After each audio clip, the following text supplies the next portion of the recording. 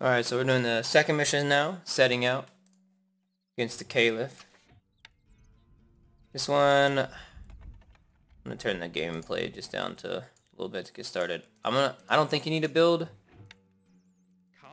Colony. I, you could probably kill him just like I did the last one against Sultan, but just be on the safe side.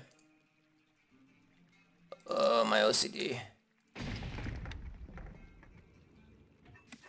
Get a few of these going. Can't place that there, my lord.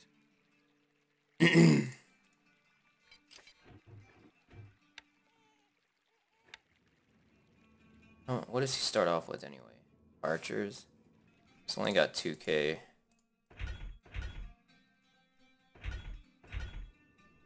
Yes, boss. Recruits needed. Ooh, I gotta sell some stuff.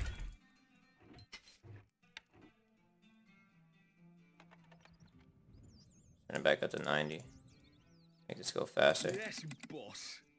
Where are the macemen? Let's see if 20 can do it. I don't know if they can or not. We might as well try, you know? on us. Where are Come on. A message from the Caliph. Please? Remove your army from sight of my Oh yeah, they should be able to do it. Pretty easy. What do you need? Smash 'em. Need some muscle. What? Yeah, that's pretty easy. Another easy mission. Attack him. Okay. the Caliph. You have There you go. Mission 2 down. Easy enough.